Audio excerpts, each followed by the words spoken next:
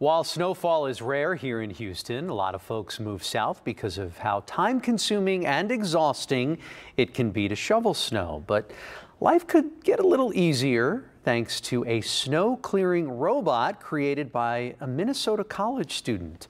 Jason Rantella has details.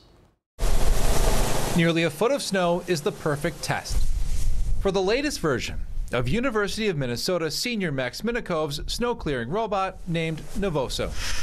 Last year, we showed you how Max's Roomba sized bot could clear driveways. This year, we call it the tank that'll go through any environment. Novoso had a bit of a glow up.